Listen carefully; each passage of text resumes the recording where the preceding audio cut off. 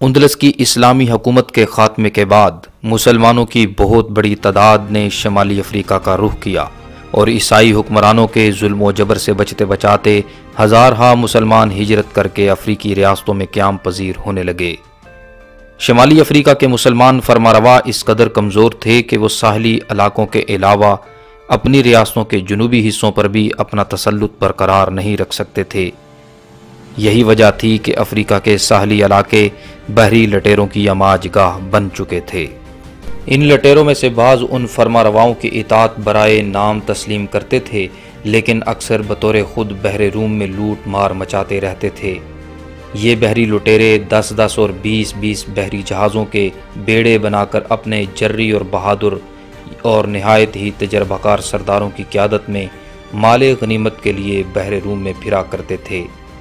और Spain, Italy और France और कभी कभी इंग्लैंड और आयरलैंड के साहलों पर भी हमला आवर हो जाया करते थे।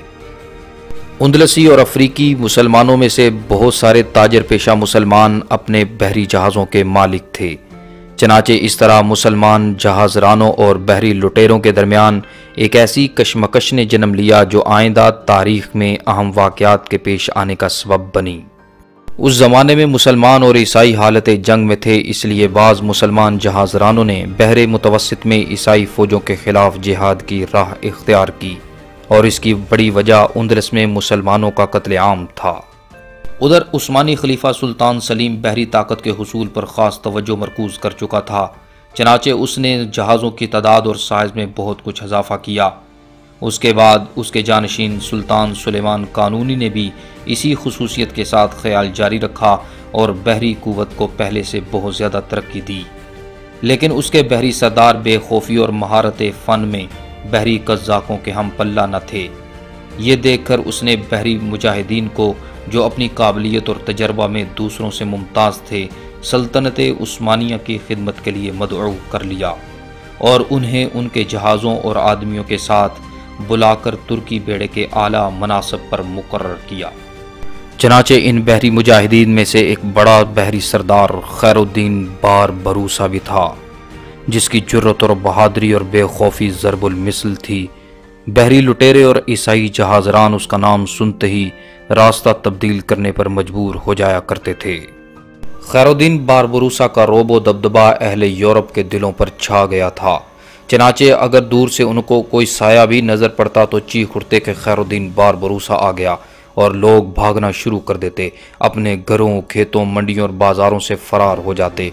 अगर तेज़ समुद्री हवाओं की वजह से कोई जहाज़ टूट फूट का शिकार हो जाता तो लोग गुमान करते कि यह खैरुद्दीन बार भरोसा नहीं किया है।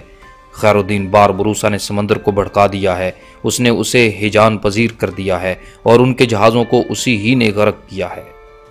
काबिल कदर नाजरीन, एक बात यहाँ पर अपने जहन नशीन कर लीजिए कि अहल मगरब हमेशा अपनी जहनी पसमानदगी का इजहार करते आए हैं। चनाचे दुनिया को तारीखी मुगालतों में डालना अहल यूरोप का बेहतरीन मशगला रहा है। यही वजह है कि उन्होंने हमेशा अपने खौफ व वहशत पर पर्दा डालने के लिए खैरुद्दीन बार बरूसा को बहरी लुटेरा करार देने की नाकाम कोशिशें की हैं, जिससे अहल यूरोप का मकरूह चेहरा बेनकाब होता है। काबिल कदर नाजरीन, इससे पहले कि हम खैरुद्दीन बार बरूसा के बहरी कारनामों पर रोशनी डालें, आइए हमारे YouTube channel heroes of Islam को सब्सक्राइब कीजिए, लाइक कीजिए, शेयर कीजिए और राय का इजहार करने के लिए कमेंट्स कीजिए। खैरुद्दीन बार बरूसा बहरे अरखबील के इलाके में सन 1510 ईस्वी में पैदा हुआ। छोटी उम्र से ही बहरी जहाद में शरीक हो गया था। शुरू शुरू में उसकी कार्रवाइयाँ बहरे अरखबील तक महदूद रहीं। लेकिन फिर सोलहवीं सदी ईस्वी में, जब सलीबी और मुसलमान फ़ौजों के दरमियान जंग जदल ने शिद्दत इख्तियार की तो खैरुद्दीन बार बरूसा शमाली अफ्रीका की तरफ़ मतवजह हुआ और अपनी जंगी कार्रवाइयों का रुख उन इलाकों की तरफ़ फेर दिया। ये वो वक्त था जब हस्पानिया और पुर्तगाल, शमाली अफ्रीका के बहुत सारे बहरी मराकज़ और बंदरगाहों पर अपना झंडा लहरा चुके थे। शुरू से ही खैरुद्दीन बारबरूसा के सामने दो बड़े महाज थे। पहला महाज हस्पानवी महाज था। हस्पानियों को उनकी बिलों से निकालने के लिए जिनमें वो घुसे बैठे थे, खैरुद्दीन बारबरूसा ने इनाबा और काला को अपने साथ मिला लिया, जो अलजायर के मशरक में वाक़ थे। और हस्पानियों पर वाज कामयाबियाँ हासिल करके पंद्रह सौ उनतीस ईस्वी में एक जजीरा पर वाक़ हस्पानवी कला बैनून को फतह किया, जो अलजायर के शहर के सामने था। खैरुद्दीन बारबरूसा 20 रोज तक अपनी तोपों के ज़रिए उस पर गोलाबारी करता रहा हती के कला की दीवारें मुनहदिम हो गईं। उसके बाद वो कला में दाखिल हुआ, एक बहुत बड़ा लश्कर भी उसके साथ था, जो 45 जहाज़ों पर सवार था। ये जहाज़ साहिल से आए थे। इस कला का कायद अपने बड़े बड़े अफसरों के साथ कैद हो गया। सन पंद्रह को खैरुद्दीन बारबरूसा का बैनून पर कब्जा करना, उसको अलजायर का नाम देने की पहली बुनियाद शुमार किया जाता है।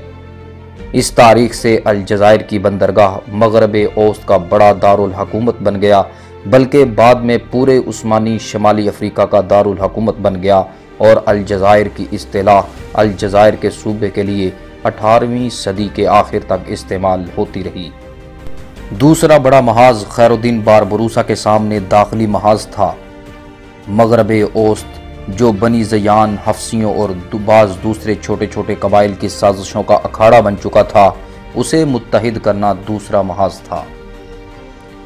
जिस पर खैरुद्दीन बारबरूसा ने जंग करना थी, लेकिन दौलत उस्मानिया के नाम की वजह से वो पूरे इलाका में नफूज करने में कामयाब हो गया और छोटी छोटी अमारात उस्मानी फरमारवाई के जेर नगीम हो गईं। खैरुद्दीन बारबरूसा ने अलजायर में एक नोखेज़ सल्तनत की बुनियाद डाली, लेकिन ये देख कर कि अपनी खुद मुख्तारी को कायम रखना उसके लिए आसान नहीं है तो उसने उस्मानी खलीफा सुल्तान सलीम की इतात कबूल कर ली।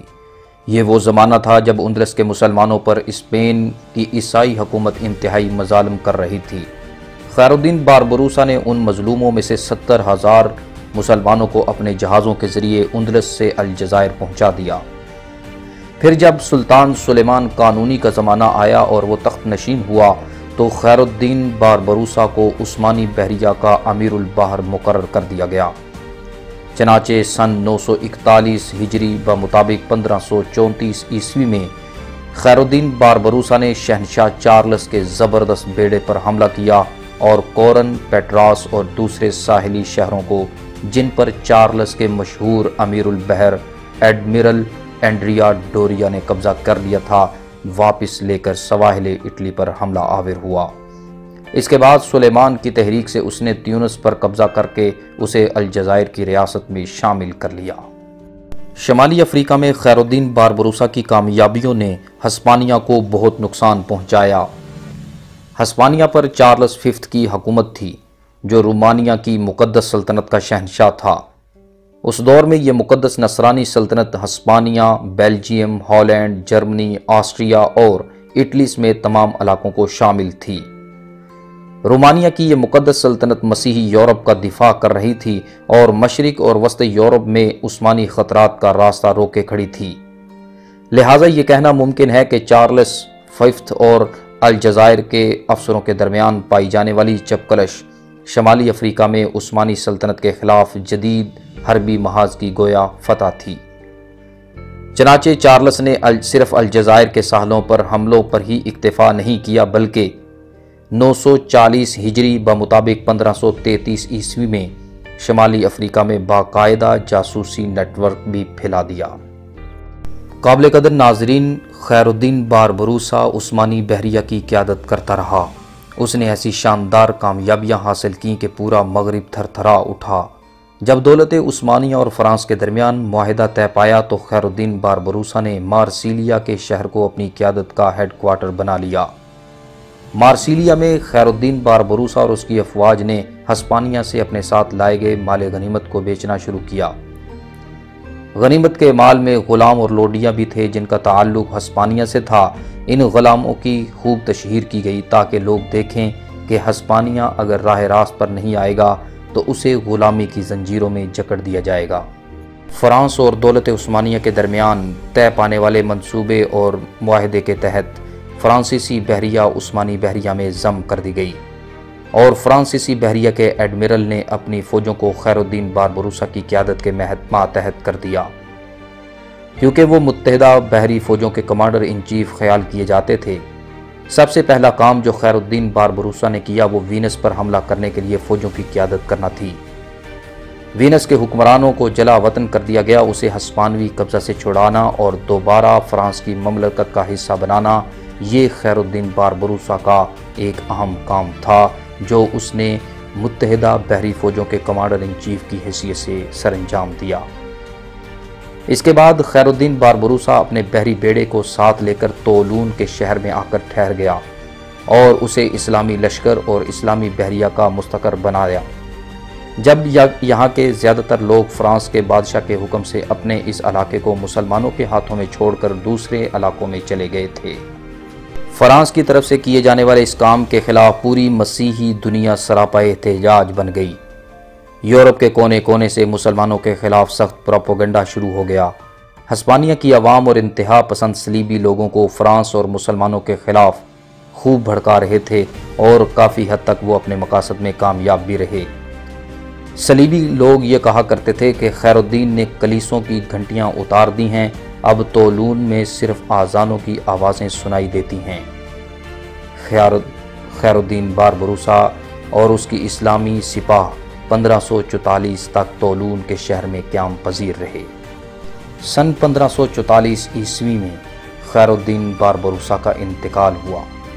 गोया ये कहना चाहिए कि एक इंतहाई रोशन सितारा गुरूब हो गया, जो एक अरसा तक बहरो बर्ब में मुसलमानों के आसमान पर चमकता रहा। उसके विसाल से जिहाद इस्लामी का एक नहायत ही रोशन बाब मुकम्मल हुआ।